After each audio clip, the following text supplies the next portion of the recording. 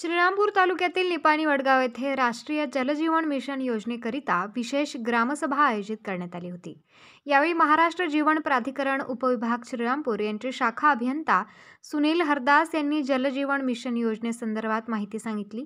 यावेळी अजित राऊत यांनी योजनेच्या सावळ्या गोंधळाची कथा ग्रामस्थांसमोर मांडली. निपाणी वडगाव ग्रामपंचायतने योजना पूर्ण झाल्यावर वार्षिक चार हजार पाचशे पाणीपट्टी आकारणीचा ठराव केला. याला अजित राऊत यांनी विरोध करून सध्याची पाणीपट्टी नऊशे रुपयेवरून फक्त दहा टक्के वाढवण्याची तरतूद आहे. त्यामुळे जलजीवन योजनेच्या नावाखाली सर्वसामान्य लोकांच्या घरावर दरोडा टाकण्याचा प्रकार करू नये. आजचा विषय जो आहे जलजीवनचा त्यातला माझा पहिला विषय आहे निपाणी वडगाव ग्रामपंचायतने ठराव करून दिलेला आहे तर ज्यावेळेस जलजीवन मिशन योजना पूर्ण होईल त्यावेळेस प्रत्येक कुटुंबाला प्रत्येक माणसी पंचावन्न लिटर पाणी शुद्ध देणार आहे. परंतु ते शुद्ध पाणी देताना पंचेचाळीसशे रुपये पट्टी आकारण्यात येणार आहे. चार हजार पाचशे रुपये. आणि आताची प्रस्तावित पट्टी आहे नऊशे रुपये. आणि आपल्याकडे आता कनेक्शन आहे आठशे पंचवीस. म्हणजे आता सध्या निपाणी ग्रामपंचायतला सात लाख बेचाळीस हजार पाचशे रुपये पाणीपट्टी होती. आणि हेच आठशे पंचवीस कनेक्शन चार हजार पाचशे रुपयामध्ये जर कन्वर्ट केले तर सदोतीस लाख बारा हजार पाचशे रुपये. म्हणजे मग जनतेला तुम्हाला शुद्ध पाणी द्यायचं का जनतेच्या खिशावर दरोडा टाकायचा? हा पहिला मुद्दा आहे.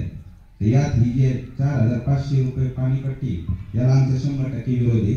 नऊशे रुपये पाणीपट्टी यात फक्त दहा टक्के तुम्ही वाढू शकता. साडेचार हजार रुपये पाणीपट्टी करू शकत नाही. असं तुमचं महाराष्ट्र जनजीवन प्राधिकरणाने दिलेले पत्र. त्यानंतर दुसरा विषय आला पाणी मागणी संदर्भात.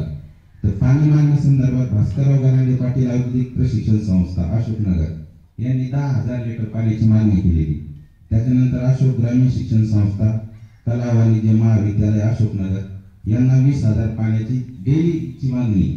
त्यानंतर Ashok institute of engineering and technology college म्हणजे पॉलिटेक्निकल यांना पन्नास हजार लिटर पाण्याची म्हणजे या तीन संस्थेला ऐंशी हजार लिटर पाणी दररोज लागणार तर ह्या पाण्याचा जो दर आहे तो एक हजार लिटरला नऊ रुपये नव्याण्णव पैसे. म्हणजे डेली ऐंशी हजार लिटर पाणी वापरणार. तीस दिवसाचं यांचं पट्टी होती तेवीस हजार सातशे साठ रुपये.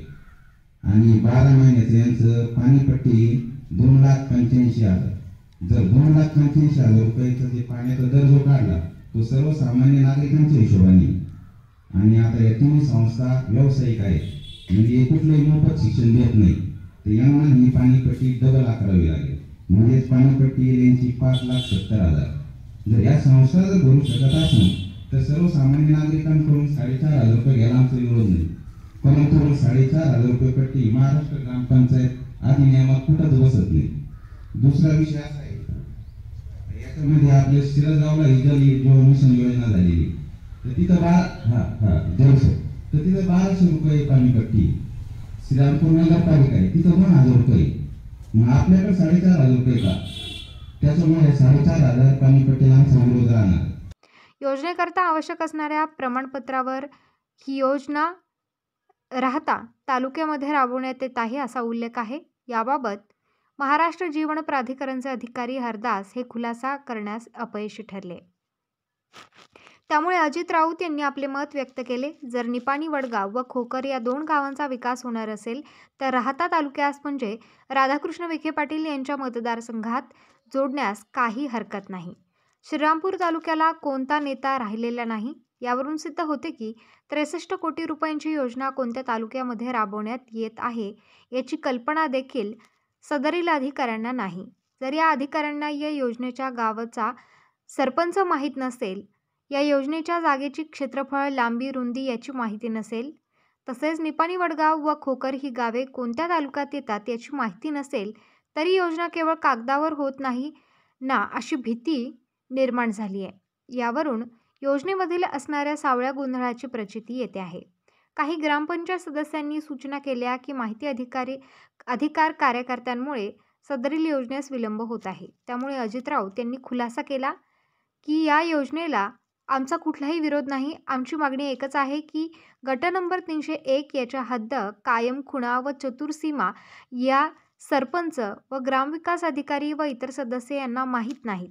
त्यामुळे या जागेची शासकीय मोजणी करण्यात यावी. तसेच योजनेची मोजणी न करता जागा महाराष्ट्र जीवन प्राधिकरण यांना दिल्यास आणि भविष्यात सदरील जागा इतर शेतकऱ्याची निघाल्यास या योजनेवर झालेला खर्च रक्कम त्रेसष्ट कोटी रुपये ही शासनास भरण्यास निपाणी वडगावचे विद्यमान सरपंच वनिता राऊत या सक्षम असेल तर आता या क्षणी जमीन मोजून देण्यास आमची हरकत नाही.